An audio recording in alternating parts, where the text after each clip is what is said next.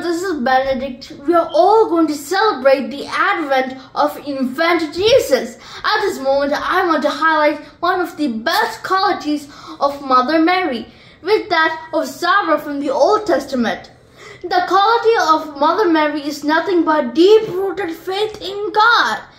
Mary responds to the angel announcement in her famous faithful way. Behold the handmaid of the Lord, and be it done according to your words. He or she is totally willing to accept the salvation plan of God. She never had to doubt about the promise of God, whereas Sarah doubted God's promise as she tried to work it out in her own way.